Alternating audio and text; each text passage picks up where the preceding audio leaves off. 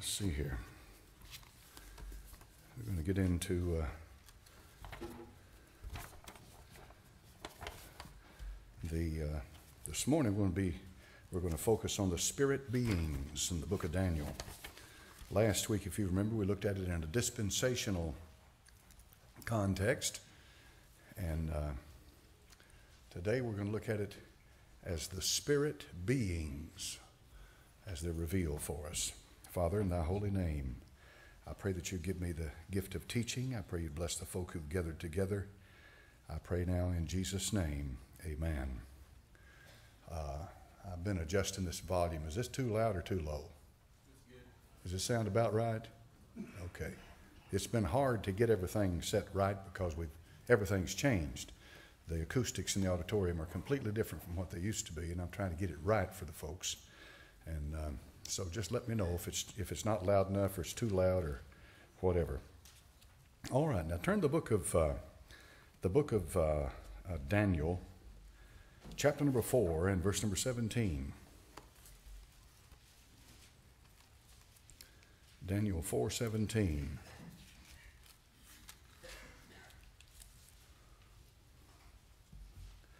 Now we have some strange things happening in Daniel. Uh, it's not just that it happens in Daniel, it happens everywhere, but it's recorded in Daniel. And I want you to remember that Daniel is a book of the captivity. It's like Ezekiel. It's a book that is written about Israel while they are away from their land in a foreign land, and uh, someone else is exercising authority over their land, occupied. It's being occupied. And uh, what's happening here in the book of Daniel is there is a spiritual warfare that takes place that cannot be seen with the human eye, but uh, the uh, uh, but is real nonetheless. And it shows you a little bit of an idea of what the Apostle Paul's talking about when he talks about principalities and powers. And here in Daniel chapter number four and verse number 17, the scripture says, This matters by the decree of the watchers and the demand by the word of the holy ones to the intent that the living may know that the Most High ruleth in the kingdom of men, and giveth it to whomsoever he will, and setteth up over it the basest of men. Now, if you notice here, uh, the word watchers shows up. Now, the book of Enoch, as I've mentioned to you before, is a, a pseudepigraphic book or an apocryphal book. And uh, a lot of people today are quoting the book of Enoch extensively and building a lot of doctrines based on the book of Enoch as it relates to the second coming and what's going to happen in the last days. Let me give you this warning right now. Anything outside the Bible is to be treated with caution, extreme caution, extreme caution. The Bible is the only inspired book on this earth, it is God's Word. Anything else, if it agrees with the Bible, good for it, but it is not the source of authority. But the book of Enoch is loaded with, with, uh, with uh, information about the watchers. And who are the watchers? Well, according to the book of Enoch, the watchers are fallen angels. Say, well, is that who a watcher is? We don't know that for sure. We don't know that. This is what Enoch, the book of Enoch, talks about being fallen angels. If you get into do a little research on the internet today, you'll be amazed at how many names that you can pull up of the fallen angels. They list them in alphabetical alphabetical category. Hundreds of names of fallen angels. I got to look into that thing the other day and I thought, now you know, you got to be careful with something like this because anytime you get into names, you can be calling on the one that that name belongs to. And you better be very careful careful with it. So I'm not going to give out the names. There's no point in it, and it's not going to help anything in here. But just understand that in the in the uh, in the in the religious cafeteria world of today, everything and anything goes, and it is amazing at how much information's out there.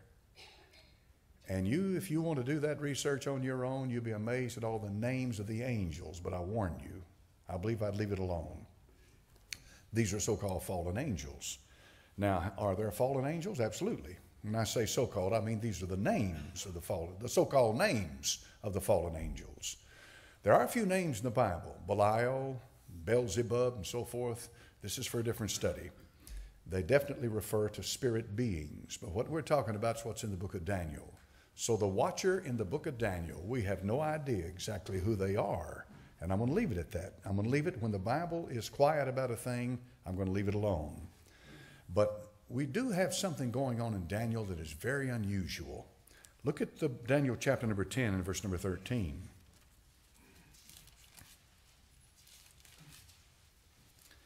Daniel 10, verse 13. If you start reading with verse number 12, the scripture says, Then said he unto me, Fear not, Daniel, for from the first day that thou didst set thine heart to understand and to chasten thyself before thy God, thy words were heard, and I am come for thy words. Now watch this. But the prince of the kingdom of Persia withstood me one and twenty days. But lo, Michael, one of the chief princes. Now let's stop right there for just a moment. Who is Michael? He's named in Scripture. He's an archangel, he's a holy angel. There's only two angels named in Scripture, and both of them show up in Daniel, the only book in the Bible like that. Now, Gabriel is mentioned again in Luke, but here in the book of Daniel, Gabriel and Michael both show up. That's quite remarkable. Considering all of the books of the Bible, this is the only book, only 12 chapters, that both names, both of these angels show up. Michael is an archangel, Gabriel is an angel. I assume an archangel, but the scripture doesn't call him that. But the Bible plainly says that Michael is an archangel. Now, we have an archangel being resisted by the prince of Persia. Notice that Michael is called a prince, and the prince of Persia set in contradistinction to it. So we're talking about, in the same context, spirit beings. We're not talking about a human being who is the prince of Persia. That wouldn't make any sense. We're talking about Michael, who is called a prince, and we're talking about the prince of Persia. So it's obvious to me that a spirit being confronts another spirit being. That's what's going on here. Now, it means that Persia has a spirit being that represents Persia. And Michael, Daniel chapter number 12, it says plainly, stands for the people or the children of Israel. Michael represents Israel. And so the confrontation takes place here in answer to a prayer. He withstood him 21 days and wouldn't let Michael get through. Now, there's a lot of controversy today as to who Michael is. Uh, a lot of churches are teaching that Michael is the Lord Jesus Christ. I do not believe that. I do not believe it. Michael is, an, he is a creature. Uh, just like every other living being is a creature, there's only one creator, and the Lord Jesus Christ is the creator. Anything else is inferior to him, including Michael. If you'll remember, the Bible says in the book of Jude that when Satan and Michael were contending for the body of Moses, the scripture says, Michael said, The Lord rebuke thee, in reference to Satan. All right? The Lord rebuke thee. Well, if the Lord Jesus Christ is Michael, then why would the Lord Jesus Christ say, The Lord rebuke thee? The Lord would say, I rebuke thee. That's what he said. Get thee hence, Satan. When he was in the wilderness, remember? He didn't say, The Lord send thee hence, Satan. The Lord Jesus says, Get thee hence, Satan, speaking directly to him. Uh, there's a lot of reasons for rejecting the idea that Michael is the Lord Jesus, and I've got a lot of reasons why I do, but this is not about that. It's just, I just thought I'd mention that to you to, for you to understand that there's an awful lot of tradition around Michael, a lot of tradition in, in the Roman Catholic Church and other, and other churches and religion and a lot of them teach that Michael is the Lord Jesus Christ. I do not believe that. I believe that Michael is a creature, high and exalted and elevated, yes, but he's still a creature. He is an archangel. That means that he stands above all the other angels. But even an archangel could be withstood for 21 days. Now that's something to think about. You think about the powers that, uh, that, are, that are arrayed against each other when you look into the spirit world. The bottom line is that all of these nations on earth, and the reason for this to be clear is that notice carefully what it says here in Daniel chapter number 4 and verse number 17.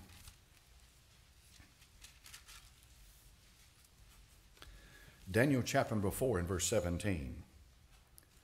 That the living may know, start in the middle of the paragraph, that the living may know that the Most High ruleth in the kingdom of men and giveth it to whomsoever he will. Now watch carefully. And setteth up over it the basest of men. Just because God's put a man over a nation, a country, or what have you, doesn't mean that man's a good man. He's simply there as God places him to be there to fulfill his will and his purpose. He put Nebuchadnezzar on his hands and his feet for seven years, and his fingernails grew out and his hair grew out till he learned that the, that the Most High ruled and that he was only a king insofar as God allowed him to be a king, and he was that head of gold.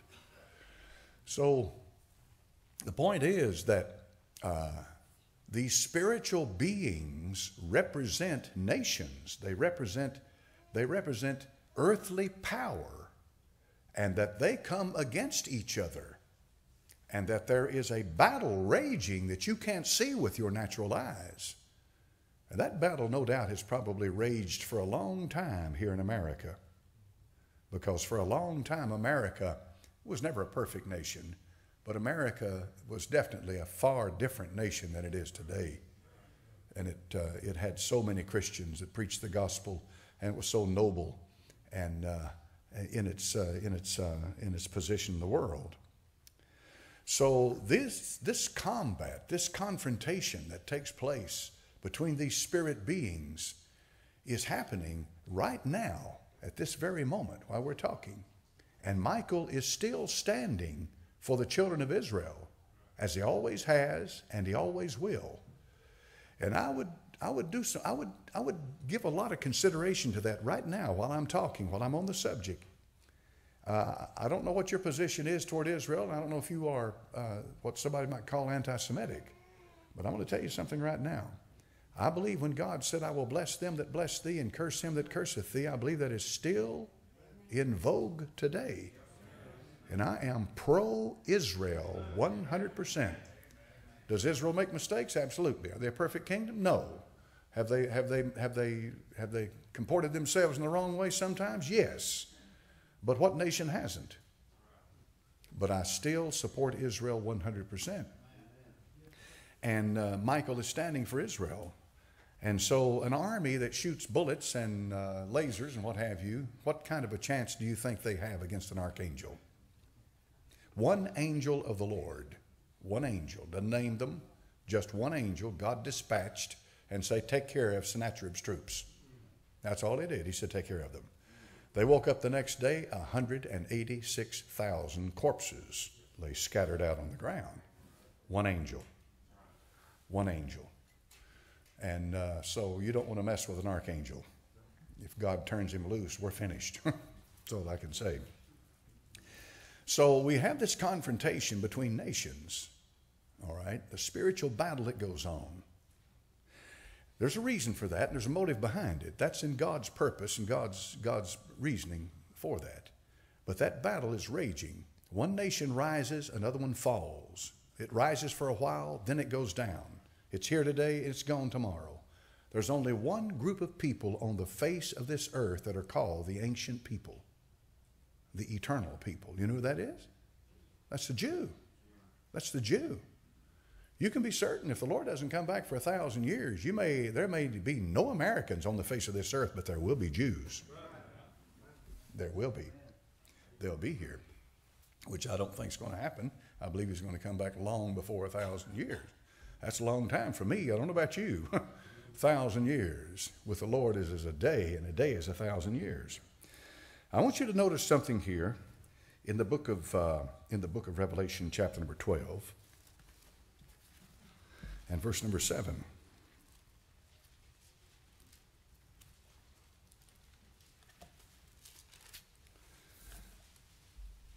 Revelation 12, 7.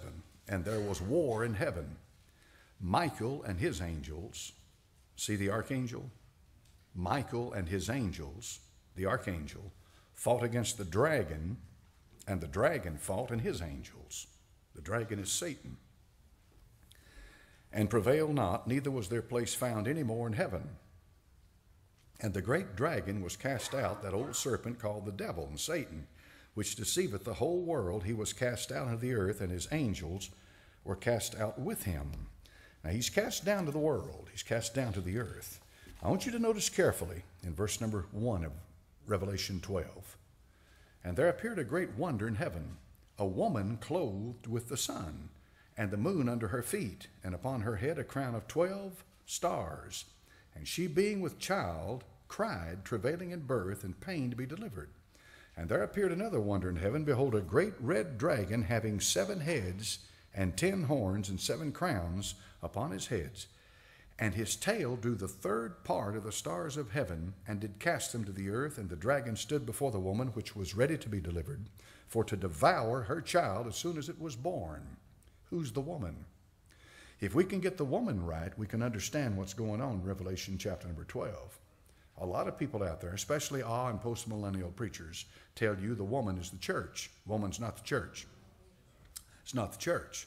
When you go back to the book of Genesis and to the vision that Joseph had, you'll find that Joseph's vision matches perfectly what goes on here in Revelation 12. And the vision that Joseph had was in reference to Israel. Israel. In plain words, what we have here in Daniel in, in Revelation 12 is Israel. Israel is bringing forth a man child. Now you can interpret that in a lot of different ways.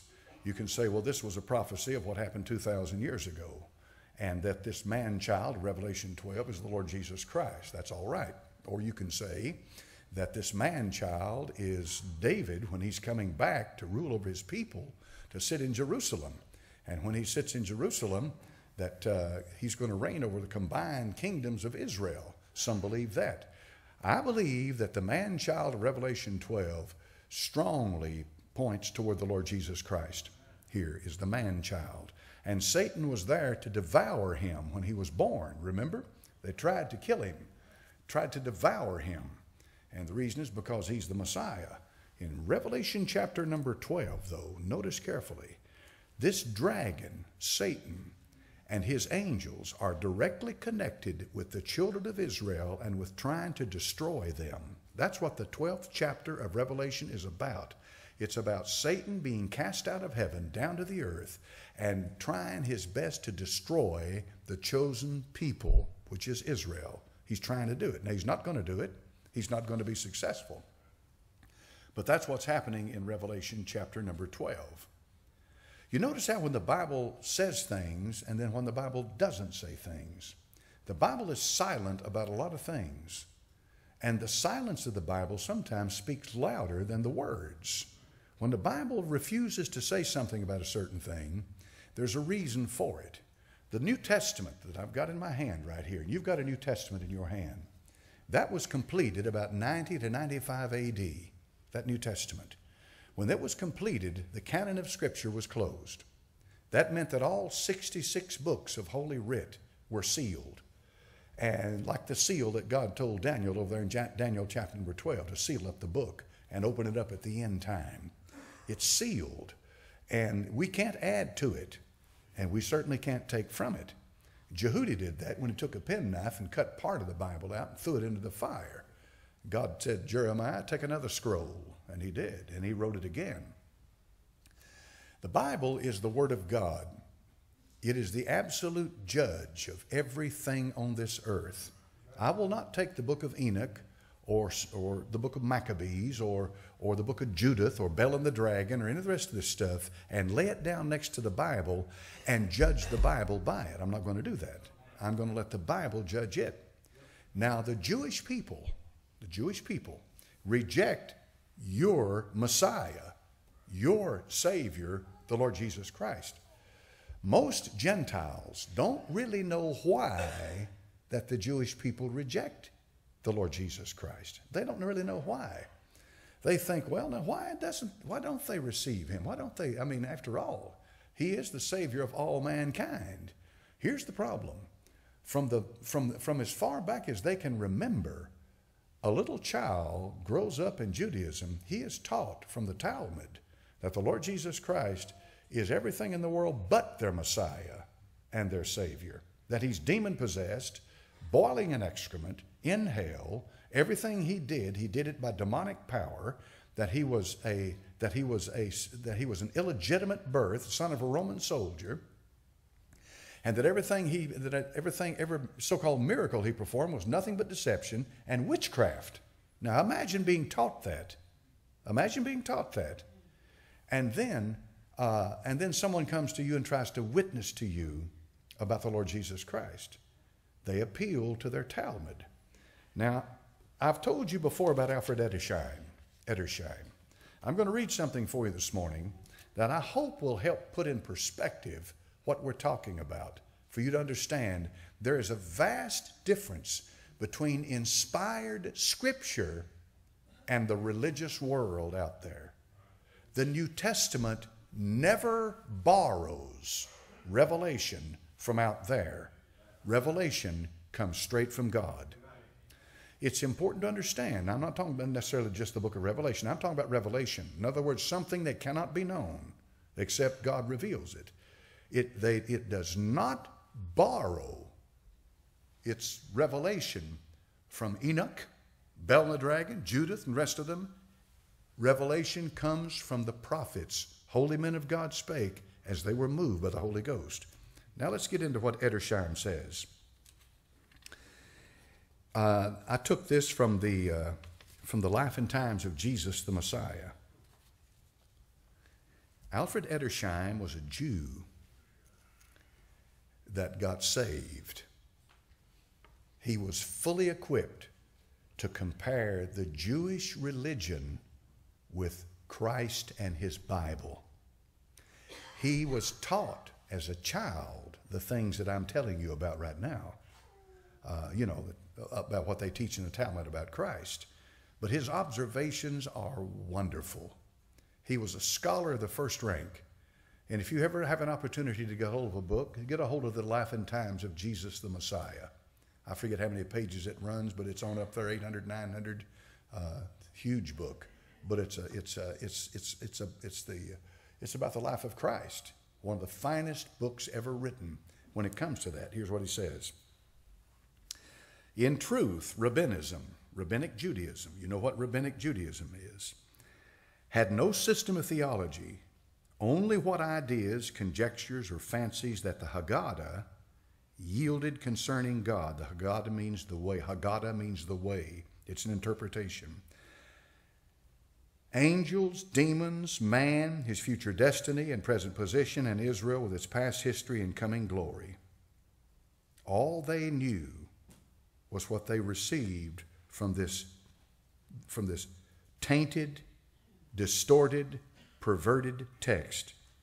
Accordingly, by the side of what is noble and pure, what a terrible mass of utter incongruities, of conflicting statements, and too often debasing superstitions, the outcome of ignorance and narrow nationalism, of legendary coloring of biblical narratives and scenes, profane, coarse, and degrading to them, the Almighty Himself and His angels taking part in the conversations of rabbis, the discussions of academies, nay, forming a kind of heavenly Sanhedrin, which occasionally requires the aid of an earthly rabbi. The miraculous merges into the ridiculous and even the revolting. Miraculous cures, miraculous supplies, miraculous help, all for the glory of great rabbis who by a look or word can kill and restore to life. At their bidding, the eyes of a rival fall out and are again inserted. Nay, such was the veneration due to rabbis that Rabbi Joshua used to kiss the stone on which Rabbi Eliezer had sat and lectured, saying, quote, This stone is like Mount Sinai, and he who sat on it like the ark. Unquote. Modern ingenuity has indeed striven to suggest deeper, symbolical meaning for such stories. it should own the terrible contrast existing side by side. Hebraism and Judaism, the Old Testament and traditionalism, and it should recognize its deeper cause in the absence of that element of spiritual and inner life which Christ has brought. Thus, as between the two, the old and the new, it may be fearlessly asserted that as regards their substance and spirit, there is not a difference, but a total divergence of fundamental principle between rabbinism and the New Testament, so that comparison between them is not possible. Here there is absolute contrariety. What did he say? He said that there is no way that you can sit down with a rabbi and his Talmud and his traditions and the New Testament and carry on a conversation because there's no nothing between the two books that is uh, compatible. That everything that he believes is based on utter superstition, demonic lies, false assumptions. No question about the fact that it had its origins in Babylon and in Persia and in all the foreign countries that they were, that they were, uh, that they were around. And that the New Testament is so far different and above what's in that Talmud that the difference itself ought to make you stand back and say, Hallelujah to God. That New Testament did not come from Judaism. That New Testament came from the Lord God Himself. And He used Jews to write it. And the Jews that He used to write it wrote it out of revelation. In many cases, turning against their own traditions, their own uh, their own families, their own upbringing, everything they had known up until that point, they had to deny it, turn from it, and write the New Testament as God revealed it to them. That's exactly what they did. And when the Apostle Paul got saved and began to define the cross and the doctrine of the cross and all of that, it was completely separate from everything that he had been taught up until that point he sat at the feet of Gamaliel. Gamaliel was steeped in the, in the, in the Talmud, in the Mishnah, the Gemara, the, uh, the, uh, uh, all of the books that make up the Talmud. He was steeped in that stuff, and yet the Apostle Paul turned his back on it, walked away from it, and the revelation that he gave you in the New Testament about the Lord Jesus Christ was completely and totally separate from anything the Talmud has. Now, here's a question. I believe that's true. Since that is true, you are faced with a situation where it should be, it should be clear and obvious to you that there is an absolute source of divine truth, and then there is a source of lie and deception. Now, I'm not telling you that the New Testament and the Old Testament is incompatible. I'm not telling you that at all. I'm talking about the Talmud. I'm talking about the traditions of men. I'm talking about something that came from, uh, that came from Babylon and Persia. And the doctrines came from Babylon and Persia, not the Old Testament. You can lay the Old Testament down next to the New Testament, and they're compatible with each other. One complements the other. Absolutely.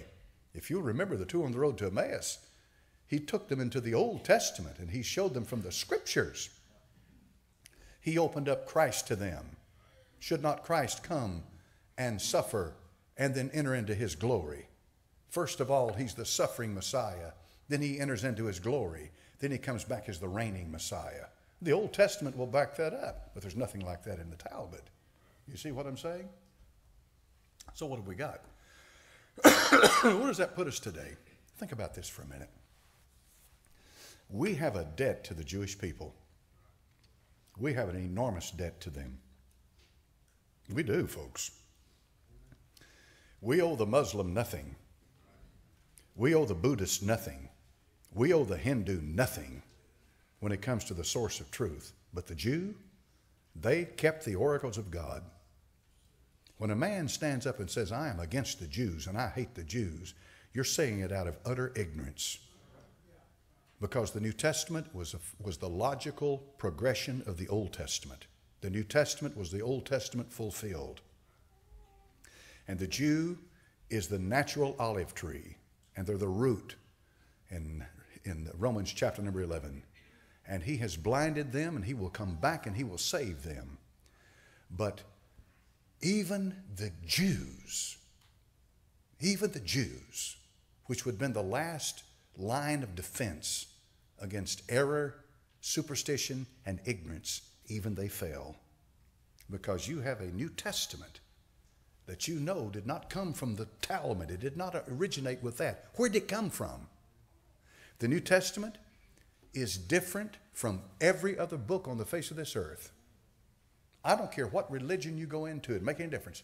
If you go into Mohammed's religion and all of his demons and his angels, if you go into if you go into the Hinduism with their millions of gods, Zoroastrianism with all of that, Buddhism, which was an outgrowth of of, uh, of, uh, Brahmism, Buddhism, and Hinduism was the progression through that.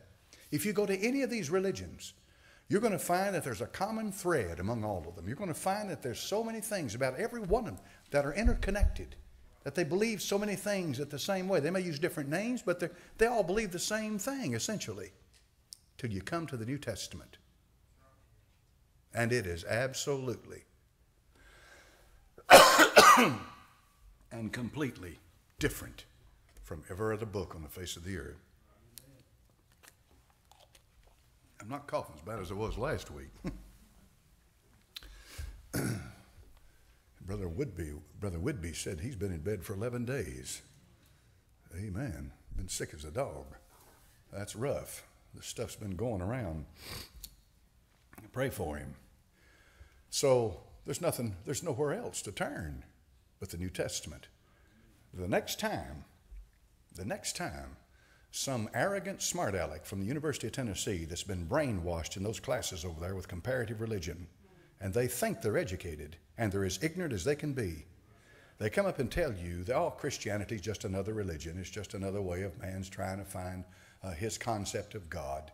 Uh, they all originated in ignorance and came from cavemen and blah, blah, and on it goes, on it goes. They're speaking from utter ignorance. They are. They're ignorant. They're ignorant, and they don't know they're ignorant. They think they're educated.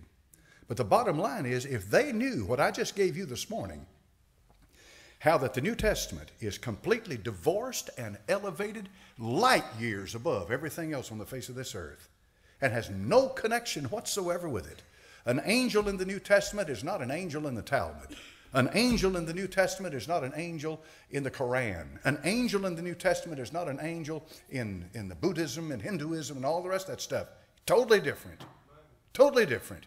Yet they're teaching them over there that, and then they get in the public school system and they get up in front of our kids and they and they wave their degree in their face as if I'm the final authority, intimidate the kids, and then begin to tear down and destroy the foundations of what we believe from the Bible. From the Bible. From the Bible.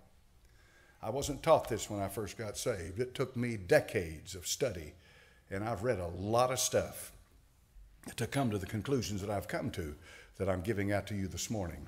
That New Testament you got in your hands is an inspired book. And it owes absolutely nothing to paganism. And it owes nothing to anybody's religion. That New Testament is a revelation. It's different. And the fact that it is different uh, is, is, one of the, is, the proof, is one of the proof positive of its, uh, of its authenticity and its genuineness. But the fact that people read that New Testament and drug addicts are no longer drug addicts, thieves are no longer thieves, murderers are no longer murderers. People get saved and their life changes because they read that New Testament. It has the power to save your soul and change your life like no other book on the face of the earth.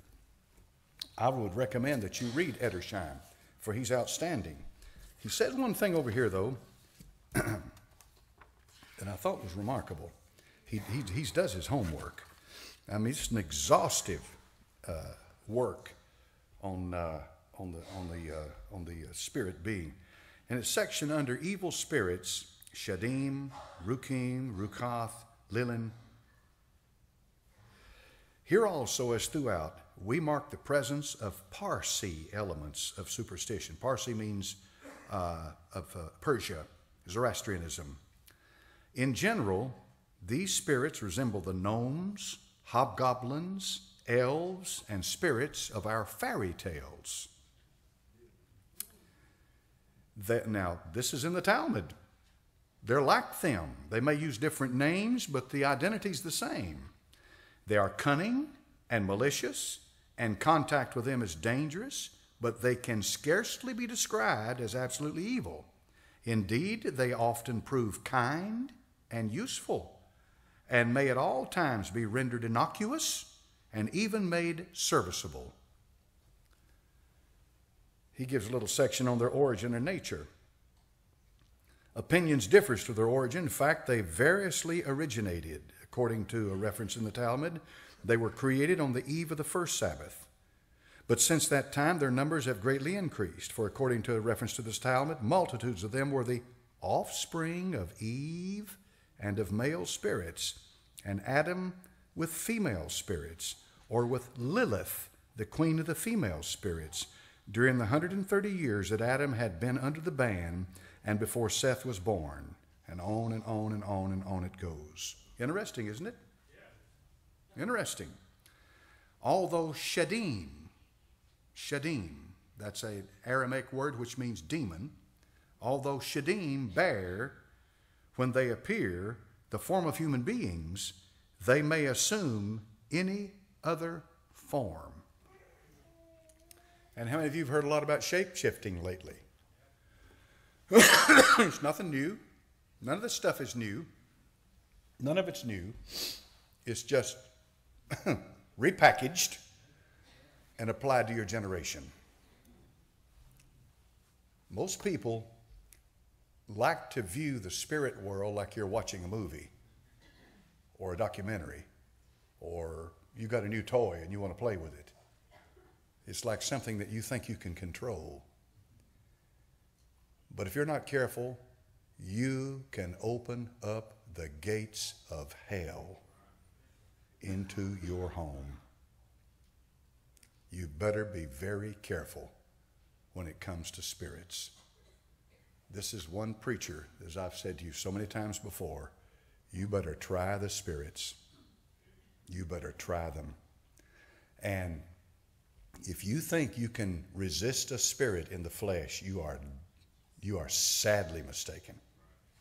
In plain words, if you think that just by, by, by determination and your will and uh, something of that nature, that you're going to stop an evil spirit from wreaking havoc in your life, you're dead wrong. Well, how do I do it, preacher? By the blood of Christ. The Spirit, whether, whether the average Christian in America, quote unquote, has a clue about it, the spirit world knows about the blood of Christ. They know the power in the blood. They know the power in the name of the Lord Jesus Christ. They know that power. And if a real believer calls upon that name and applies that blood toward a spirit being, that spirit being is no longer confronting that person that spirit being now has to deal with the authority of the finished work of the Lord Jesus Christ and the shed blood at the cross at Calvary. And that spirit being doesn't stand a chance if you really believe and you call out his name. My wife said the other day, she said, I heard you talking again at 2 o'clock in the morning. I said, Yep. sure did. Another one showed up at my bed, and I let it know, just like I did the last one, who I belonged to. And I pled the blood of Christ I spoke to it like I'm speaking to you. Now, you know, a lot of people put you in a straitjacket, and take you to the funny farm, and they, you know, they think, well, he's gone off the deep end. No, I believe that what I'm teaching you, I believe. And there is a spirit world out there, and you don't want to mess with them. And when they come around you, let them know who you belong to and plead the blood of Christ against them, and it just fades away. And it's gone. And it may come back again, but it's, it's gone. And you have to learn that. And, and uh, it, don't be afraid to do that. I wasn't taught this. The church that I was saved into, they were straight laced, stiff necked, uh, good Baptist, you know, but you don't talk about spirits and, and uh, certain things. And, And uh, I had to learn this on my own. And I'm telling you this morning, we're in a battle to the death. We're in a battle. All right, I'm, I'm done with this lesson. We'll pick it up again next week. We've got about three or four minutes. You might have a question. I'll try to answer it, or an observation or statement or anything you'd like to say. Yes, sir. I heard the Talmud is the unwritten word written down. And, uh, it's based on tradition and, and whatever somebody wants to come up with. In fact, it's ongoing. Well, right. Here's the thing about the Talmud. According to them, here's what the Jews teach God gave two laws at Sinai. He gave a written law written on tables of stone, then he gave an oral law. The oral law given at Sinai was to be passed on from generation to generation orally. Therefore, it remained a secret within the people. Only the people would ever know. It was nothing written, so no scholar could research it. That oral law that was given at Sinai is, has been refined down through the years. The Mishnah means the second giving of the law. The Gemara is the commentary on the Mishnah. And the commentary, as you just said, continues to grow, it continues to develop in time. As they face new challenges, as life changes, the contemporary situation, then the Gemara reflects that because they have to make interpretations of how to live, how do you deal with this, you know, things that we deal with 2015 they didn't have to deal with 100 years ago. And so that's, that's what's developing in that. It continues to grow. And I read in the, well, I read the Talmud, and, and it was talking about this one, uh, prayer that the rabbis could do on an inanimate, inanimate object and turn that inanimate object into a creature of doom to do their bidding to destroy their enemies. And say that's witchcraft. That's witchcraft. That's witchcraft. And, and the Old Testament is, you know, you can read time and again, don't be dis- dismayed at the signs of the seasons. Uh, what are you doing baking cakes, the Queen of Heaven? You're down there in North Africa and you're learning the, the ways of the heathen. And the witch of Endor conjured up a dead, uh, conjured up a demon, but God brought Samuel up and shook her to her very core. That's witchcraft.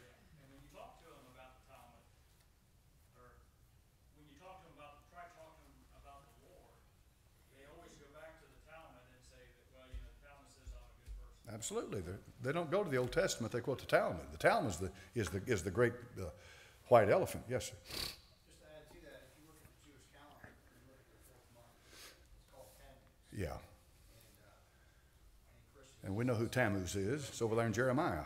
so you have to ask yourself, how did that get in there? That's right. We know who Tammuz is. Yeah. They apparently, How'd that get in there?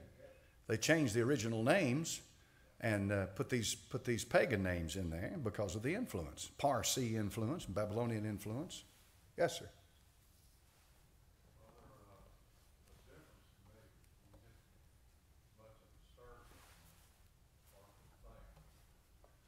the comparison of the New Testament and our, the things that, that try to undermine maybe the educational, higher lifted up people that think they understand.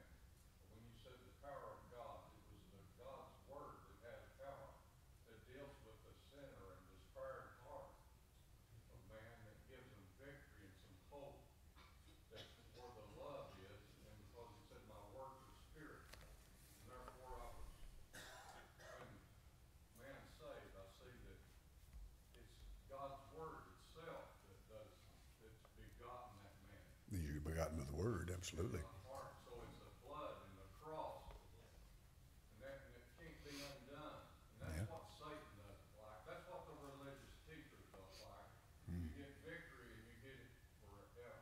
Amen. Hallelujah. Real victory.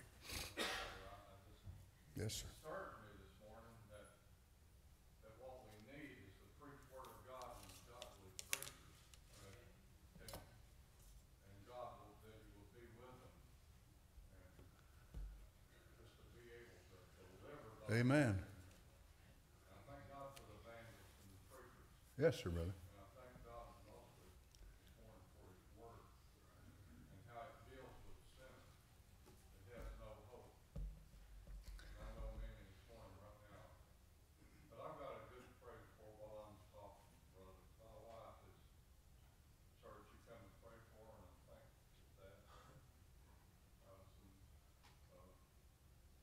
just got back out of the hospital. I thank you for your Good. Yes, sir. Good. I'm glad to hear that. Yes, sir. Yes, sir. Good. Good. You don't brag about your sword. You don't talk about your sword. You use the sword. The Word of God is the sword of the Spirit. Use it. Just preach it. It'll get the job done. All right, let's pray and we'll, we'll let you go. God bless you now. Uh, Brother McLeod, Bruce McLeod dismisses.